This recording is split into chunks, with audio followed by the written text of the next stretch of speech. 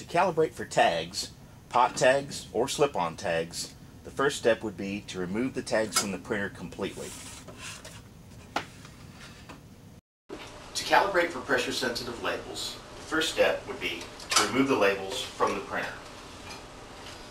Then tear off about an 8 inch section of labels from the roll. Then remove the labels from the backing sheet. So you have a piece of backing paper about 8 inches long like this.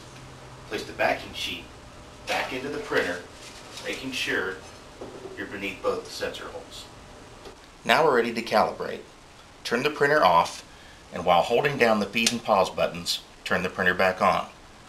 This will put the printer into diagnostic mode.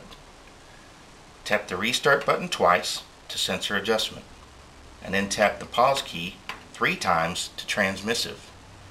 Then press and hold down the restart button until you get an asterisk in the display. Then tap pause. If sensor adjust displays, turn the printer off. You're calibrated.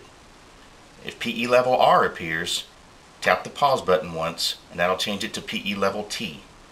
Then press and hold down the restart button until you get another asterisk. Then tap pause.